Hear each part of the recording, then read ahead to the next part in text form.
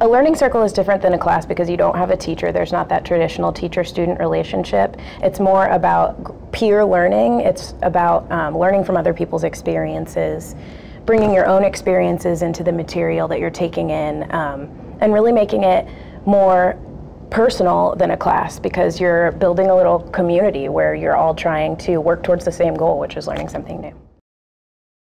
Yeah, I, I think that the first thing in setting up uh, a learning circle is to um, to make clear of the expectations. Uh, that it's not a classroom, that it's a group, that it's that it's not students, it's participants, that it's not the teacher, it's the facilitator. Uh, a team effort, and everyone is a participant equally. Uh, I think that's that's very important in uh, going from what we know as a traditional classroom to um, this new exciting model of learning circles. Uh, one of the biggest questions I get from learning circles actually comes from fellow library staff, uh, and it, it's about uh, how to um, uh, how it differs from a traditional class and uh, how it could possibly work without um, without having a, an instructor who's fully trained and, and experienced in leading the class.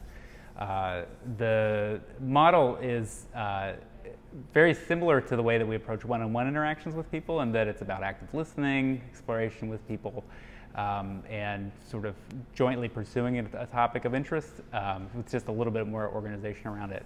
Uh, but in the library framework, I think oftentimes uh, it's, it's, it feels a little informal and feels uh, a little frightening because there's a lack of control. Um, and for me, a course is very much somebody who stands up in front of a room um, and talks at you, and there might be some discussion.